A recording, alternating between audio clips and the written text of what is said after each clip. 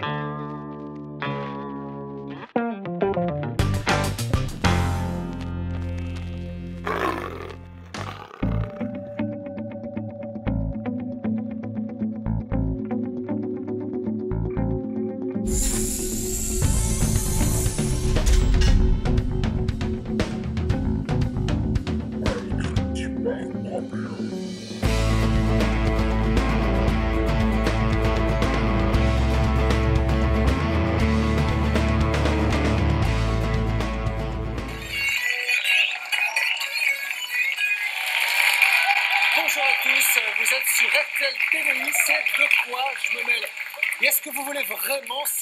quoi on va se mêler ce soir? Oui Vraiment? Oui Il n'y a qu'à demander. Pourquoi certains adoptent un serpent plutôt qu'un chien? On va se mêler de ce choix de vie. C'est celui euh, de Mike, un passionné de ces drôles d'animaux de compagnie. Les reptiles, c'est une éternelle source de savoir. Et aussi Sophie Pandeville, Renaud Alexandre Hubert, Thibault Roland et Emmanuel Que vous avez la niaque, euh, les amis, ce soir Ouais. Ben, ça tombe bien, parce qu'on va parler des NAC ce soir. Euh, NAC, Ouais. définition, Renaud? Merci. Euh, bah, C'est euh, de nouveaux animaux de compagnie, des Ah. animaux euh, moins conventionnels que les chiens et les chats. Par exemple, des serpents, des reptiles Ah, bec. ou encore des araignées. Qui a déjà eu euh, ou a ce genre de bébête à la maison? Moi, il y a deux jours, une araignée, mon chat l'a éclaté. Ah ben voilà. Alors, c'est- on va parler des, animaux, des amoureux de ces Ah. animaux aujourd'hui. Ça porte chance, cette araignée dans les maisons. Ouais, et il paraît quand on a des araignées à la maison, c'est parce qu'on a une maison très propre. Donc plus vous avez d'araignées, plus votre maison elle est propre. Mais vous, est-ce que vous seriez prêt à adopter une de ces drôles de bestioles? C'est la question qu'une de nos équipes vous a posé la réponse. Chez moi, je pourrais pas avoir un crocodile. Enfin, euh, ça sert à rien. Je peux même pas emmener un chat chez moi en fait. Un serpent, j'avoue que je me suis jamais posé euh, la question, mais euh, why not hein. Je vois pas l'intérêt de- d'enfermer un animal déjà euh, exotique euh, par rapport à notre climat, même si on peut recréer son climat, mais pour moi il n'a pas sa place. Un appartement, euh, c'est pas fait pour un serpent. Il faut la jungle, il faut de l'espace. Donc, un petit chat, un chien, oui. Un serpent. Un serpent ne doit pas être dans un appartement ou dans une maison, c'est pas son lieu de vie. Je pense que ça peut être des animaux de compagnie. Maintenant, il enfin, faut quand même rester méfiant parce que c'est quand même des animaux assez particuliers. Donc, euh, j'ai déjà entendu quelques échos comme quoi, pour certains serpents, du moins, c'était dangereux. Je ne comprends pas les gens qui adoptent euh, un serpent, ou une tortue ou un crocodile. Peut-être ça peut être une passion, mais c'est une passion un peu mal déplacée. Je pense qu'ils veulent avoir un animal un peu plus distrayant qu'un chat qui fait rien. C'est pas un animal de compagnie et pour moi, chaque animal doit avoir sa place dans la nature. Ça vous étonne ces réactions C'est assez négatif. hein, finalement. Ouais, mais c'est qui nous dit qu'un chat, ça sert à rien. Ça sert à plein de choses. Un chat à faire des à câlins, nous faire la oui, tête. les araignées. Et ouais, à bouffer les araignées, Les les souris, aussi, à jouer et à, à nous faire rire. C'est des lolcats, quoi, souvent. Cela dit, Mike, lui, vous allez faire sa connaissance dans un instant, ça fait des années qu'il est passionné Ah. Par ces animaux. Une passion devenue son métier, puisqu'aujourd'hui, il est l'heureux d'un- l'heureux propriétaire d'un magasin spécialisé. Durant plusieurs jours, il va ouvrir les portes de son magasin Ça va être Pas facile, euh, Mike, à Michael, Michael. Michael. C'est Ah et pas pour l'autre. Et Michael, lui, il a peur de ces bestioles, comme il les appelle, et il ne comprend pas, mais alors, vraiment pas, ce qui euh, pousse Mike, enfin Mike il est là, à aimer ça. Regardez. À 33 ans, Mike est totalement passionné par la terrariophilie, la science des reptiles. Une adoration sans limite qu'il cultive depuis son plus jeune âge. Il y a 8 ans, il réalise enfin son rêve en ouvrant son propre magasin. Pour moi, la terrariophilie, c'est une passion dévorante. Les reptiles, c'est une éternelle source de savoir.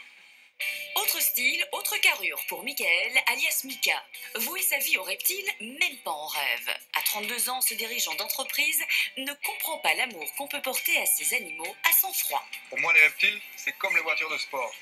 C'est dangereux et ça coûte cher. Pendant trois jours, Mike va tout faire pour convaincre Mika du bien fondé de sa passion. Y parviendra-t-il? En attendant, il est temps pour nos deux hommes de briser la glace. Mike a donné rendez-vous à Mika directement chez lui. Bonjour. Bonjour. Bonjour Mika. Enchanté Mike. Enchanté. Ça va bien? Ça va Donc là, c'est ta toute première fois, tu n'as jamais manipulé de reptile. Ah, première jamais. fois dans un magasin comme celui-ci Ah ouais, là, c'est vraiment Bah. la première fois. Enfin, c'est pas quelque chose qui me, qui me parle, j'ai pas envie de les toucher, j'ai pas envie de les voir, j'ai pas envie de leur parler, j'ai pas envie de leur faire des câlins. Moi, j'ai vraiment envie de te comprendre, hein, j'ai vraiment Oui. envie, mais je t'avoue- je t'avoue que là, déjà, en regardant, j'ai vraiment beaucoup de mal. C'est vrai? J'ai limite des frissons. hein. Je peux comprendre que euh, certaines personnes euh, aient des difficultés avec les reptiles, comme certaines personnes adorent les chats et d'autres ne les aiment pas, préfèrent les chiens. Mike commence en douceur et propose à Mika de manipuler un Pogona viticeps, un petit lézard d'Australie réputé pour son caractère docile. Quoique, qui s'y frotte s'y pique. Ça, ça griffe un peu, c'est normal. C'est pas du tout piquant, c'est vraiment un aspect esthétique. Grosse, grosse appréhension, j'ai- pas voulu le garder trop longtemps. même. Ça leur permet parfois de se sortir. je- je vais juste te laisser le reprendre. si. On voyait qu'il tremblait un petit peu, donc euh, oui, il était absolument pas, euh, absolument pas à l'aise. Il avait, il y avait une, une peur importante qui était là. Pas vraiment séduit par le charme du lézard, Mika en profite pour entrer dans le vif du sujet. Si je comprends bien, on- n'achète pas un reptile pour avoir une relation particulière comme avec un chat ou avec un chien. Ce qui va être mis en avant, c'est l'observation, le respect des conditions de maintien et, euh, et la reproduction. La reproduction, pour des terrariophiles passionnés, c'est vraiment euh, la réussite. Donc il n'a pas d'attache. Non, absolument pas. Ok. Il n'y a pas de câlin à faire, il n'y a pas de, il y a pas d'attendrissement, il n'y a pas de. Donc je on peut pas parler d'élever un animal comme ça, mais je me demande quel est l'intérêt d'avoir ce genre de, de reptile à la maison. Mika n'en reste pas là et pointe du doigt un autre sujet sensible, le bien-être de ces animaux sauvages. Mais est-ce que tu penses vraiment que ici, là, comme ça, elles se sortent réellement dans un milieu naturel et qu'elles se sortent bien? Euh, pour moi, oui. Si euh, l'animal n'était pas bien, ben, d'office, ben, il ferait un petit peu comme une dépression. Mika reste sceptique, mais notre amateur de reptiles n'a pas dit son dernier mot. Il passe à l'étape supérieure en proposant à notre playboy de manipuler un python royal. Donc en fait, quand on, manipule un serpent, il faut toujours euh, que tu aies deux points d'appui. Là, par contre, j'ai vraiment une grosse, euh, une grosse, grosse appréhension, beaucoup plus que pour le lézard. Oh, mon Dieu. Voilà. Alors tu vas voir, c'est euh, tout du muscle. Donc forcément, il va s'enrouler autour de tes mains. J'avoue que j'ai eu aucun plaisir. Euh, D'ailleurs, je l'ai assez vite éloigné de moi et j'ai assez vite demandé à Mike de le reprendre. Le python n'aura pas fait mieux que le lézard, que du contraire. Face à ce mur d'incompréhension, Mike tente le tout pour le tout. Il propose à Mika de nourrir un boa constrictor. N'aie pas peur. Il l'a déjà senti. Voilà. C'est violent, quoi. Le nourrissage, c'est un passage obligé, c'est une étape indispensable pour le bien-être de l'animal. J'ai plus trop de tapas à épiler. Merci. Je me suis quand même dit euh, que c'était quand même une drôle de passion. C'est la chaîne alimentaire, mais bon, c'est quand même pas, euh, pas logique euh, de faire ce genre de choses. À l'issue de ce premier jour, Mike est définitivement loin d'avoir rallié Mika à sa cause. Tu sais ce que tu fais. Après, euh, c'est sûr que je suis pas devenu le meilleur ami euh, des reptiles, là, c'est sûr. hein. Je campe sur mes positions. euh, c'est- pas le truc vers lequel je vais aller et demain, je vais pas ouvrir un terrarium. En fait, à demain. En tout cas, grand merci. hein. De rien. En tout cas, si je peux déjà lui enlever cette peur, euh, lui faire comprendre ce monde-là, ce sera déjà très bien.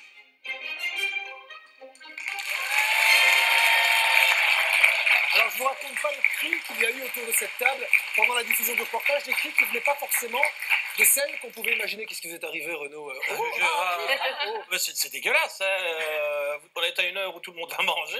On dit pas c'est dégueulasse, on dit c'est pas mon goût, Renaud. pas mon goût. Alors, bon. qu'est-ce qui peut pousser certains à être propriétaire d'un serpent plutôt qu'un chien? C'est le débat, la grande question euh, du jour. Mais allez-y, puisque vous Bah avez oui, la mais bon, euh, qu'on ait, un chien ou un chat, ça me paraît normal, mais un animal pareil devrait vivre dans, dans la nature.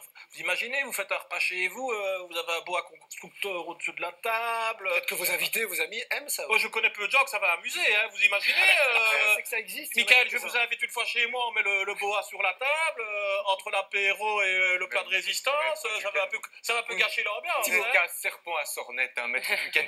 Ces, ces animaux ressentent des émotions. Non, mais sincèrement, ces, ces animaux ressentent des émotions. Par exemple, la tortue est un animal très émotif malgré sa carapace.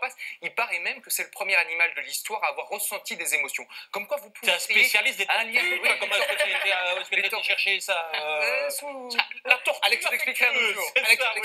Mais Moi, je me suis un peu intéressée justement aux personnes hein, qui, euh, qui adoptent ce- des reptiles. Qu'est-ce qui peut les pousser? Parce que c'est vrai que c'est c'est un petit peu particulier. Alors, euh, en fait, ce sont surtout des. Je me suis renseignée auprès des vétérinaires. Apparemment, ce sont surtout des, des hommes qui s'y connaissent quand même bien. Donc, ils s'informent pas mal avant, euh, pour la plupart, disons, avant d'en adopter à la maison, euh, entre 20 et 40 ans. Donc, ça, c'est en, en gros. Au niveau psychologique, ben, euh, c'est le côté, euh, finalement, ben, fascination. La fascination de voir ben, à travers, enfin, dans l'aquarium, parce que c'est vrai qu'on peut créer vraiment tout un univers, c'est assez beau à voir. Il y a le côté aussi observation. On observe ben, ces, ces animaux qui, qui évoluent.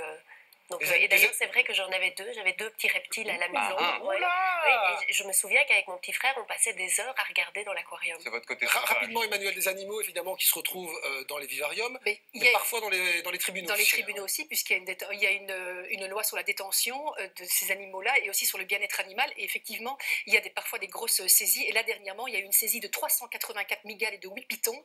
Et ici, en fait, la personne a été condamnée à payer les frais de gardiennage et tenez-vous bien, 45 800 euros. Mais ça peut parfois aller plus loin aussi. Une autre personne qui avait des serpents, des tortues et des lézards a eu, euh, quant à elle, trois mois de prison, mais avec sursis, mais également des frais de gardiennage de plus ou moins 2000 euros. Donc faire attention quand même. Sujet, comment s'en douter, qui a déchaîné les passions sur les réseaux sociaux et sur la page Facebook de l'émission. Exactement. Alors on a Monique qui nous dit nous avons des caméléons, un pur bonheur, des animaux super gentils. De toute façon, il y aura toujours des gens pour et des gens contre, bien sûr. On a aussi Angélique euh, Basile qui nous dit qui sommes-nous pour capturer ces bestioles et les élever en captivité Ce ne sont pas des animaux de compagnie, ce sont des animaux sauvages. Et quelqu'un à qui il ne faut pas demander de se passer de ces animaux, c'est lui, Mike. On a fait sa connaissance hier et son truc à lui, Mike, ce sont les serpents, les caméléons, les migales. De drôles de petites bébêtes. Euh, pour de quoi je me mêle, il a accepté que Mika, euh, qui a horreur de ces bestioles, euh, le suive durant quelques jours dans son univers animalier euh, très particulier. Aujourd'hui, direction le vétérinaire, ça va causer législation. Ça a l'air simple comme ça, la législation. Mais c'est pas simple du tout, on en reparle juste après. Pour ce deuxième jour, Mike a décidé d'emmener Mika chez son vétérinaire. Ce docteur spécialiste des reptiles est souvent consulté dans le cadre de l'élaboration des lois. Notre passionné espère ainsi prouver à Mika que tout ça, c'est du sérieux. Bonjour David. Bonjour Mike. Comment tu vas? Ça va bien, ça va Je te présente Mika. Mika David. Bonjour, enchanté. Donc David, c'est un, un de mes meilleurs amis, c'est le maître en termes de euh, soins euh, pour tout ce qui est NAC, donc reptiles et voire d'autres euh, d'autres animaux. Je tenais vraiment à ce qu'il te rend compte pour qu'on puisse parler de la législation. Ah oui. Parce qu'il se pose pas mal de questions et en même temps, je t'ai ramené quelques animaux pour faire des petits check-up. Et apparemment, il y a quand même beaucoup de détenteurs de ce genre de, de- de reptiles à la maison. Moi, je suis persuadé que c'est pas, c'est pas quelque chose d'encadré. Et honnêtement, je trouve ça un peu dangereux. Bon, bon, on va passer en salle de consultation. On y va. Pour débuter, David commence par ausculter son premier petit patient, un caméléon. Une espèce jugée inoffensive. Cet animal-là, par exemple, est-ce est-ce qu'on a le droit de l'avoir en Belgique? On peut en avoir euh, jusque 9 sans autorisation particulière. Et à partir du dixième, il faut juste faire une déclaration à la commune pour dire bah voilà, j'ai des caméléons chez moi. Et Donc moi, aujourd'hui, qui n'y connais rien, je peux aujourd'hui acheter une bestiole comme ça pour mettre chez moi. J'y connais rien. Ben, la chose qui me tilte, c'est de, de se dire que ben, forcément, si moi, j'acquéris un caméléon aujourd'hui, je ne sais pas comment m'en occuper. Aïe, ce premier échange n'aura pas eu pour effet de rassurer Mika, pour qui une formation semble obligatoire. Un avis partagé par le spécialiste. c'est très délicat quand même comme animal, il faut bien s'y connaître. Idéalement, même, il faudrait suivre une formation. On voit beaucoup de catastrophes euh, quand même. Je pense que ça devrait être non négociable, que tout le monde devrait avoir une formation à partir du moment où il décide d'acquérir un animal comme ça. Euh, ça, ça éviterait des risques et probablement quelques accidents. Je te rassure, je ne vais pas en acheter un. Au moins, assez dit. En avant pour le deuxième patient, un rien plus impressionnant, le fameux boa constrictor. Un animal qui bénéficie lui aussi d'une législation particulière. Donc tu vois ici, tu vas faire une espèce qui est classée en permis d'environnement de classe 2.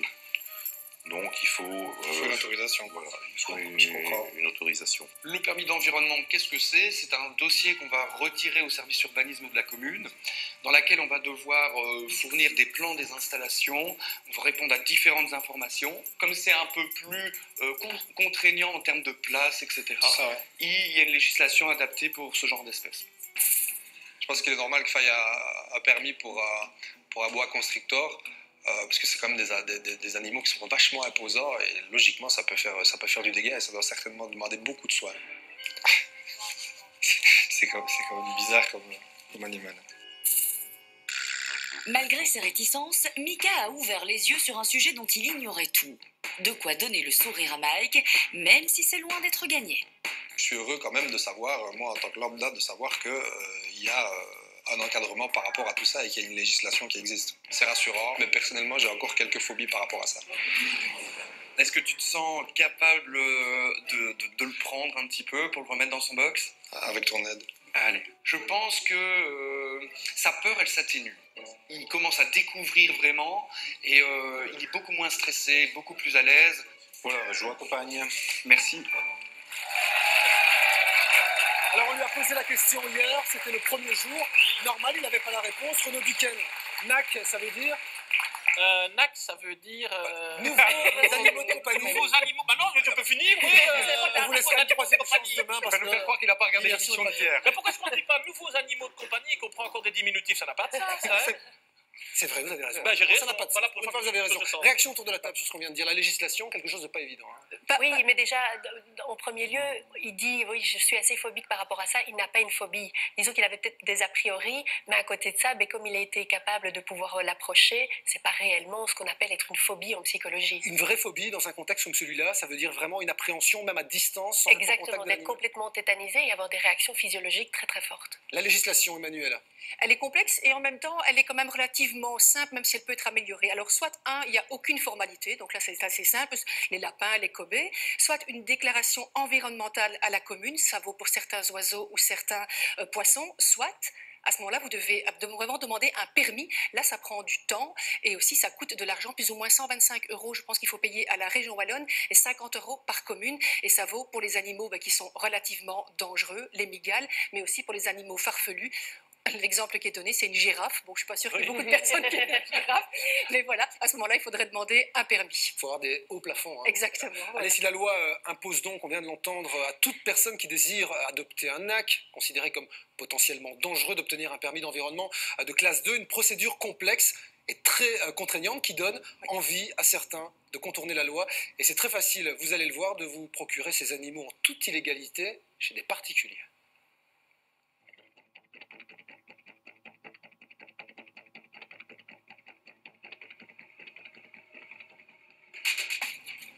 Au niveau des permis et tout ça, comment je fais moi?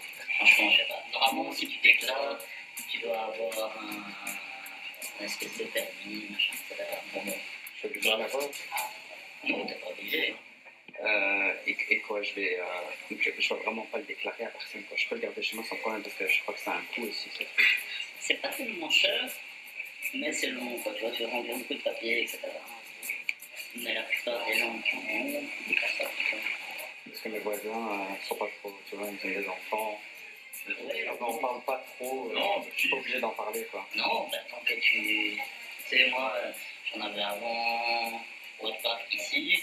Moi, le propriétaire ici, je le sais pas non plus, tu vois. Tant que ça reste. En privé quoi.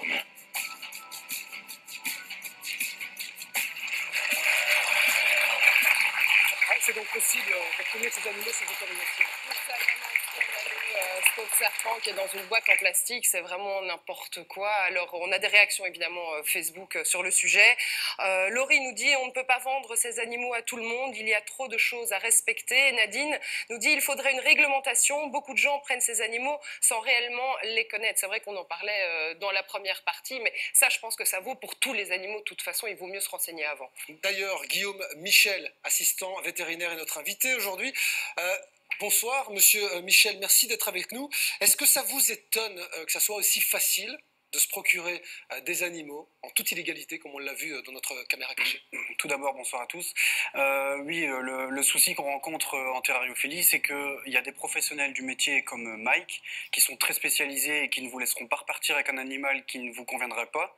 Et le problème, c'est qu'on a des bourses aux reptiles, donc à l'étranger, en Allemagne, en France, qui offrent euh, la possibilité à n'importe qui de vendre leur reproduction. Ça dit ici, pas besoin d'aller dans des bourses particulières. hein. On a juste trouvé des coordonnées sur Internet, facilement accessibles, de personnes qui vendent euh, ces animaux. Euh, vous n'êtes pas étonné quand vous voyez ça? C'est quelque chose de connu dans le milieu des, des NAC Oui, mais c'est euh, connu au même titre qu'un éleveur de chats ou de chiens va avoir une reproduction et va vendre ses animaux. Donc moi, jusque-là, il n'y a rien qui me qui m'interpelle. Maintenant, ici, c'est un cas, je veux dire, la personne qui, qui, qui a vendu ce serpent est pour moi le, le cas représentatif d'un kéké pour moi, puisqu'il aurait dû expliquer à la personne qu'il lui fallait un permis. Mais c'est pas pour autant qu'il lui a vendu un animal dangereux et que c'est un monstre sanguinaire. Qu'est-ce qu'on risque quand on vend en toute illégalité ces animaux ou, qu'on les achète Euh, bah, on risque des gros problèmes avec euh, le tribunal parce qu'il faut un permis d'environnement de classe 2 à partir du moment où on veut vendre des animaux.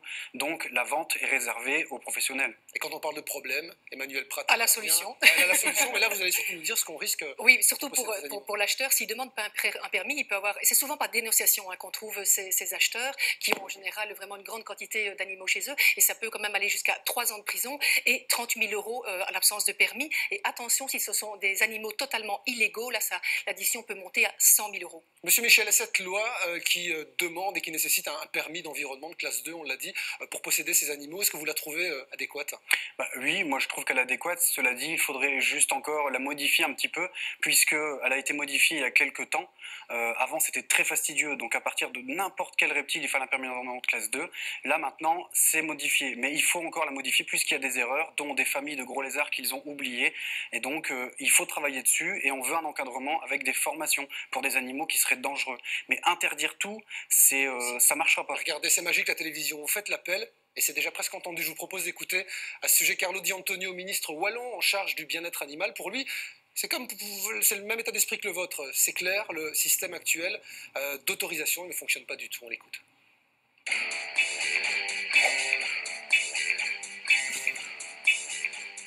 Je trouve, d'abord qu'en matière de bien-être animal, il ne faut pas pouvoir détenir n'importe quoi. En, en ce qui concerne les nouveaux animaux de compagnie, l'idée c'est d'établir une liste positive, donc une liste des animaux qu'il est euh, raisonnable, je dirais, de pouvoir détenir euh, dans un appartement en Belgique. Et alors il y a l'autre aspect qui est l'aspect sécurité. Ce que je veux mettre en place, c'est aussi une information directe entre le vendeur, directe et obligatoire entre le vendeur et les administrations communales. La manière dont on va organiser les choses, c'est que tous les animaux qui seraient détenus euh, illégalement après passage d'une nouvelle loi bah, feront l'objet de mesures transitoires. Ça veut dire qu'on ne va pas les saisir, on ne va pas non plus euh, les détruire, et donc il faudra convenir avec les propriétaires de la manière dont on gère cette sortie progressive et le fait d'aller vers cette interdiction.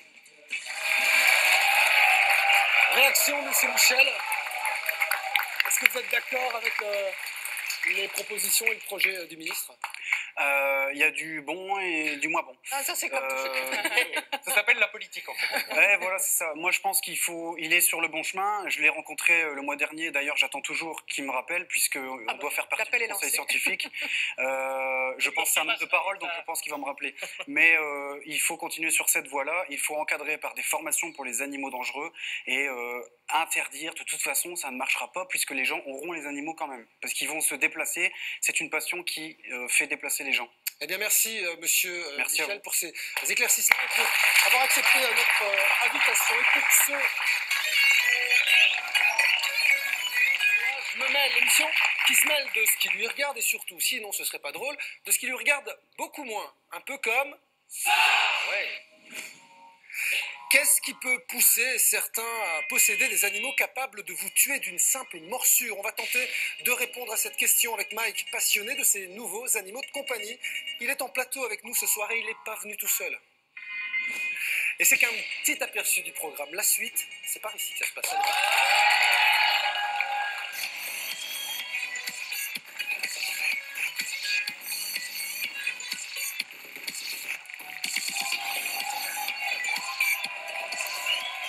Autour de moi, que des mecs. Tout, c'est la condition pour faire partie de l'équipe. Sophie Pandeville, Renaud Duquesne, Alexandra Hubin, Thibaut Roland et Emmanuel En fait, bon, être euh, mêle-tout, c'est pas la seule condition. Il faut aussi avoir le cœur bien accroché pour faire partie de l'équipe de De quoi je me mêle. Surtout que dans un instant, va y avoir de drôles d'animaux en chair et en os sur cette table. Des bestioles dangereuses qui peuvent mordre. Mais il y en a déjà une. Hein. Et encore plus dangereuses. Non, mais bon. Mike. Mike, c'est lui qui, dans un instant, va nous les présenter. C'est un passionné de ces nouveaux animaux de compagnie, comme on les appelle, animaux qu'on aime ou qu'on n'aime pas. C'est le cas de Michael, qui va encore moins les aimer ce soir quand il va aller à la rencontre des plus dangereux d'entre eux. Regardez. Pour ce troisième et dernier jour de l'aventure, Mike va se risquer à présenter des espèces jugées dangereuses à Mika. Un pari osé quand on sait que ce dernier a déjà peur d'un petit lézard inoffensif. Je vais te laisser ouvrir le couvercle, comme ça tu vas pouvoir découvrir ce qu'il y a à l'intérieur. Oui, il n'y a, pas- y a aucun danger, hein, je suis là. Je suis là avec toi. hein. Alors ma grosse crainte aujourd'hui, c'est euh, de devoir toucher ou de, de devoir voir d'un peu trop près une migale ou une grosse araignée. C'est impossible à concevoir pour moi. Oh là là, non. Oh. Donc c'est une, une femelle Lasiodora euh, paraibana, c'est la deuxième plus grande migale du monde. Elle va faire à peu près cette taille-ci quand elle sera adulte. Elle n'est pas adulte. J'arrive pas à concevoir qu'on puisse se dire qu'une araignée, euh, aujourd'hui, c'est son animal de compagnie, mais c'est c'est- voilà, c'est un truc de fou, c'est pas possible. C'est donc l'occasion pour Mika d'aborder directement le sujet épineux de la dangerosité. Car oui, finalement, est-ce vraiment dangereux ou pas ce genre d'araignée? Ça fait partie euh, des, euh, des animaux qui sont susceptibles d'être dangereux. Pour moi, c'était vraiment un animal sauvage. Donc là, on risque quelque chose. Ah oui, on pourrait risquer quelque chose. Si elle avait euh, décidé de nous mordre, elle pourrait le faire. Certaines personnes vont avoir le bras qui gonfle, simplement. D'autres vont avoir le bras qui gonfle, mal à la tête et des étourdissements. Hmm, un programme sympa. Et histoire de familiariser Mika avec cette créature velue, Mike lui propose de la remettre délicatement dans sa boîte. Je, je pense que j'ai du mal, vraiment. Oui Ouais, je- mais je crois que je, je ne saurais pas. J'aime pas être confronté à ce genre d'animal comme ça parce que j'ai pas du tout euh, la gestion de, de, de- de- de l'animal. que Elle peut sortir de sa boîte et moi, je, j'ai- je, je gère pas. Il faut toujours être délicat. Oh, putain. Elle est pas contente en plus. Bon, faire copain-copain avec la migale, ça ne sera pas pour tout de suite. Mais Mika sera peut-être plus à l'aise avec Rafi, un iguane vert auquel Mike est très attaché. Son premier reptile qui partage sa vie depuis maintenant 18 ans. Mignon, hein? C'est un animal qui va défendre son territoire contre les intrus qui vont y pénétrer. Donc la personne qui s'en occupe le plus, elle sera considérée comme le rival premier et ça peut être assez dangereux. C'est un animal qui n'hésiterait pas à sauter en, en plein visage de, de quelqu'un. Perso, un iguane, je, je savais pas que ça pouvait faire des dégâts. Si, si, si. J'étais persuadé qu'un iguane, c'était pas dangereux du tout, que c'était inoffensif. Parce que c'est une bête qui, qui m'a pas l'air du tout méchante. Par le passé, euh, il, il est déjà arrivé qu'il me morde. Euh, D'ailleurs, j'ai une cicatrice ici quand il était beaucoup plus jeune, en fait. Pour moi, c'est pas vraiment une espèce adaptée pour le maintien chez un particulier. Ce qui m'a fait plaisir de la part de Mike, c'est qu'il a eu quand même l'honnêteté et la franchise de dire qu'il déconseille quand même à monsieur et madame tout le monde d'avoir un iguane à la maison. Mika est un peu rassuré, mais il n'empêche, l'araignée et l'iguane, très peu pour lui. Mais notre crocodile Dundee a plus d'un tour dans son sac. Il lui reste à présenter un dernier animal avec lequel on ne plaisante pas. Je te présente ici un petit caïman nain de cuvier qui est né ici au sein de nos installations il y a trois ans. Imaginons, je me, je me fais mordre par un, par un. C'est clairement dangereux et ça ne pardonne pas. Ça peut euh, enlever des doigts. euh, Ouais, c'est- pas qu'une déchirure. Eh non, non, non, c'est c'est vraiment dangereux. Ces bébés, on va, euh, une fois qu'ils sont bien démarrés, les dispatcher dans des parcs zoologiques. L'occasion pour Mika de comprendre qu'il y a finalement deux types de NAC, ceux destinés aux particuliers et les autres réservés à une certaine élite. L'autre catégorie, où là il y a une dangerosité, doit être vraiment encadrée euh, par des gens qui ont une expérience importante, qui font du reptile depuis des années et qui ont les moyens d'offrir une infrastructure euh, correcte, assez coûteuse. Mika est rassuré de savoir que ces animaux ne finissent pas dans les mains de n'importe qui. En attendant, encadrement ou pas, les NAC, ça n'est décidément pas fait pour lui. Je suis vraiment ravi d'avoir découvert ton univers. Euh, là, avant d'arriver, je t'avoue que j'avais des gros gros a priori. Je reste quand même sur mes gardes. Je vais pas repartir de chez toi comme un passionné en faisant un achat, hein, c'est sûr. Ce que j'admire chez toi, c'est malgré euh, les préjugés, malgré la peur, euh, le fait de ne pas pouvoir concevoir un reptile chez toi, mais tu as quand même voulu, tu as cherché à découvrir ce monde et en apprendre plus. Et ça, franchement, c'est c'est magnifique. C'était vraiment un plaisir. Merci Mike. Alors, moi je voudrais avoir une réaction particulière d'Emmanuel. Depuis lundi, on parle des nacs, on a vu de drôles de bébêtes. Finalement, vous étiez assez cool depuis lundi. Et là, pendant la diffusion de la séquence, J'ai on rien vous... Mais le, début, vous- j'ai mais parce que les araignées, je peux pas. Donc même quand il y a un tout petit strutch comme ça chez moi, je- une araignée, je peux C'est pas. vraiment à ce point Ah non, non, je peux pas, franchement. Le reste, ça va. C'est c'est- vraiment- Même si c'est- j'apprends, tu déconne avais peur, pas. hein. Ah non, alors. tu déconnes pas. Thibaut. Non, non, Ah, non, je non, non, demande- non, je non, non, allez, tu Je vous demande. de Peut-être tu m'as embrassé la semaine dernière sur la Je bouche. vous demande de oui, passer votre Emmanuel. justement, je Non, peux le non, permettre. non, Emmanuel, non. vraiment, Allez, tout ce que tu veux, la balle, c'est- Non, non, non. Juste la doigt, Mais prenez, la boîte. Attention, attention. Qu'est-ce qu'il y a y dedans Ouvrez la boîte. Allez. Oh. Non, allez. Ouvrez la boîte, ouvrez la boîte, Emmanuel, ouvrez la boîte.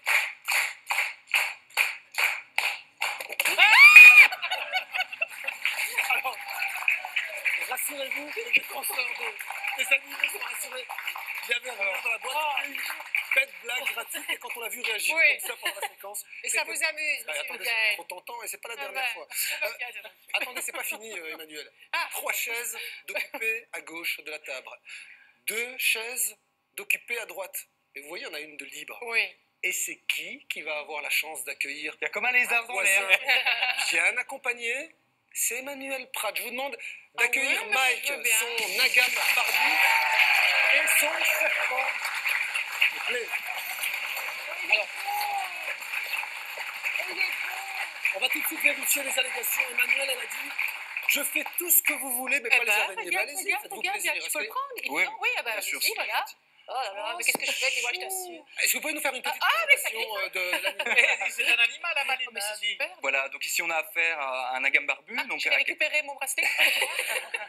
L'agame barbu, c'est un lézard qui est originaire d'Australie, fait partie des reptiles les plus vendus en terrariophilie. C'est une espèce vraiment adap- adaptée pour le particulier chez lui, qui recherche un petit peu de contact, tout, tout en respectant toujours, il faut toujours mettre l'accent, le bien-être de l'animal. Le serpent avec lequel vous êtes venu, il est dans une cage, c'est parce qu'il est dangereux? Non, pas du tout. C'est vraiment un- une espèce inoffensive. C'est un serpent des blés qui est originaire des États-Unis et euh, qui fait lui aussi, en termes de serpent, en termes d'ophidien, c'est l'une des espèces les, les plus commercialisées. Pourquoi vous n'êtes pas venu aujourd'hui? C'était la thématique du jour, les animaux très dangereux. Pourquoi vous n'êtes pas venu avec deux Pour deux moi. bestioles Pour moi, pour me faire dangereuses Ben justement, justement pour respecter le bien-être animal, ce sont des animaux qui nécessitent euh, certains besoins. On ne peut pas les stresser, on ne peut pas les déplacer comme ça.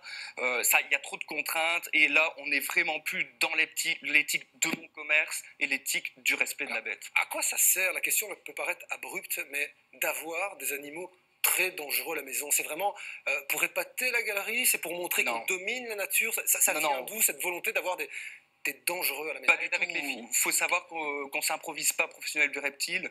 Les animaux estimés dangereux qui sont soumis au permis d'environnement ben, nécessitent de grosses infrastructures. Elles ne peuvent pas être entre n'importe quelle main. Après, il y a énormément d'espèces qui sont en voie de disparition dans la nature. Ça permet que des professionnels puissent les maintenir dans d'excellentes conditions, privilégier la reproduction pour que justement, d'ici un certain nombre d'années, ces espèces elles soient toujours présentes. Mais vous, vous parlez, vous, êtes, vous parlez en tant que pro, hein, euh, mais les- le commun des mortels qui n'a pas de magasin, qui veut juste avoir des, des- des animaux à la maison différents des autres, c'est- quoi la motivation? Je vous repose la question, c'est un besoin que certains humains ont euh, pour impressionner les autres, pour avoir un sentiment de Je pense pas, je pense pas que ce soit réellement pour impressionner, pour impro- euh, pardon, je pense- Impressionner. pour impressionner. En fait, ce qu'il faut savoir, c'est que la terrariophilie, maintenant, elle, elle a pris sa place, comme l'aquariophilie. Euh, aux États-Unis, par exemple, il y a euh, 30 à 40 ans d'ici, on commercialisait déjà ce genre d'espèces. En Europe, ça a pris un peu plus de temps. Maintenant, ça a pris sa place. Il faut juste que ce soit bien encadré pour que tout le monde ne fasse pas n'importe quoi. Mais justement, en parlant d'animal dangereux, l'iguane, c'était le premier que vous avez eu, mais vous, n'avez vraiment aucun contact avec lui. Celui-là, vous pouvez le toucher. Je suppose que les serpents, vous pouvez les prendre, mais celui-là, Voilà. si vous approchez trop fort, il vous mord, d'après ce que j'ai Tout à fait, tout à fait. Je regarde dire, mais il veut se barrer. C'est un iguane que j'ai eu donc euh, il y a maintenant 18 ans. À l'époque, la terrariophilie n'était pas du tout ce qu'elle est aujourd'hui. On n'avait pas les conseils que l'on peut avoir maintenant, et j'ai été mal encadré. Aujourd'hui, moi, au sein de mes locaux, ce genre d'espèce, elle ne va ne va pas être commercialisé à quelqu'un qui n'a pas l'expérience et euh, ni les autorisations. Emmanuel. Est-ce que l'animal peut transmettre des maladies à, à l'humain? Donc moi j'ai eu maintenant cette petite bestiole sur moi. Est-ce qu'il y a un risque ou avec d'autres Non, il faut toujours bien la- laver ses mains comme avec tout type d'animaux, mais c'est vraiment euh, sans aucun risque. Savoir que 90% des reptiles commercialisés euh, au sein d'installations professionnelles sont des animaux qui sont nés en captivité. Il y a très peu de prélèvements, on ne prend plus dans la nature, on reproduit. Et ça, c'est vraiment ce que je préfère. C'est le summum en termes de passionnés, c'est de recréer vraiment les conditions optimales et d'arriver à reproduire. Renaud, petite réaction. Ben oui. euh, Il n'est pas à l'aise non plus. Mais non, non, non, je suis impressionné parce que c'est une magnifique euh, bête, mais euh, je, je comprends votre passion, mais est-ce que le danger finalement, c'est pas l'homme pour ces animaux-là? Euh, Je veux dire que ben, c'est nous le plus grand danger, c'est pas eux forcément, parce qu'on présente toujours ces animaux comme étant un danger pour nous. Est-ce que c'est pas nous qui sommes plutôt les avocats, humoristes et philosophes il faut vraiment, il faut vraiment pour que ce soit pas un danger pour ces animaux-là, que ce soit bien encadré. Bien encadré, ça veut dire avoir des formations pour des animaux qui sont estimés dangereux. Vous savez, nous, on, on forme des élèves qui viennent de partout, qui viennent du sud de la France, de Toulouse, et qui, ont- ont- qui sont désireux comme métier de faire euh, soigneur animalier. On a formé du personnel qui donne les autorisations pour la région wallonne. C'est important que, euh, au niveau législatif, euh, on s'encadre de personnes comme moi qui sont vraiment au, au centre du, au centre. Mais il en parle avec passion, moi je trouve que c'est. Voilà, qui- qui- je suis vraiment au centre de tout a, ce qui se on a passe. compris votre, votre message, Mike, et on a aussi compris que Renaud, vous n'êtes pas un grand danger pour ces animaux. Dans tous les cas, qu'on les aime, quoique, ou qu'on ne les aime pas, euh, les NAC ont suscité énormément de réactions depuis lundi sur les réseaux sociaux de De quoi je m'amène. Oui, bien sûr. On a Natharis qui nous dit plein de gens n'assument déjà pas un chien ou un chat. Comment faire pour éviter les abandons dans la nature? Il n'y a pas plus d'abandon de reptiles que de chiens et de chats. Ça, c'est une question d'éthique personnelle. Mhm. Je vais dire que moi, en tant que passionné, je ne pourrais pas concevoir abandonner mon reptile. Si quelqu'un le fait, c'est parce que soit il avait un animal qu'il ne devait pas avoir entre les mains, qui n'était pas adapté pour lui, ou alors c'est parce qu'il a d'autres soucis familiaux ou de vie privée. Merci Mike d'avoir répondu à nos questions. Il a un dragon à la maison. Thibaut. J'avais envie de lui demander pourquoi il lui touchait la queue en permanence, c'est vrai, c'est assez perturbant. Je voulais juste savoir, est-ce qu'ils ne sont pas dangereux pour les vrais animaux domestiques comme les chiens et les chats? Non, c'est plutôt euh, eux qui, qui pourraient être blessés par ce genre. Parce que regardez, on a des preuves que la cohabitation peut bien se passer, justement. Différents cas de figure, notamment entre un chien et une tortue. Ils se mettent à jouer au foot ensemble, tout simplement. Et voilà, le, le sport peut réunir les animaux domestiques et les nouveaux animaux domestiques. Et puis même les chats et les souris peuvent parfois se réunir. Comme quoi, tout est possible et rien n'est interdit. Sophie, et même les, les plus méchants en apparence. Bah oui, Mike, on a vu, vous aviez un caïman. Est-ce que vous avez déjà eu un alligator?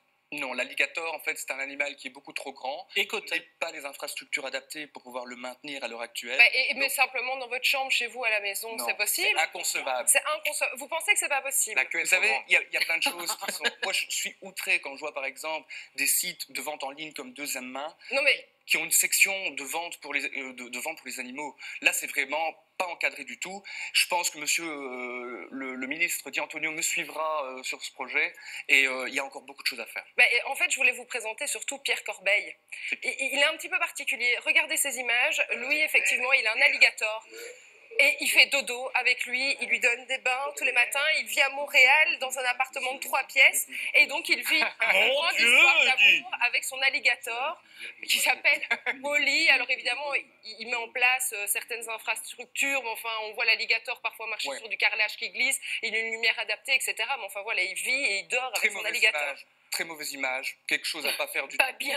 Pas bien. Sophie. Mais je- J'ai trouvé ça sur internet. Je me suis, Ah ouais. je pensais même pas qu'on pouvait Non, mais elle avec un alligator. on lui dit à chaque fois, elle va comme ça. Il faut toujours. Merci, dans tous les cas, Mike, pour avoir répondu à toutes nos questions et nous avoir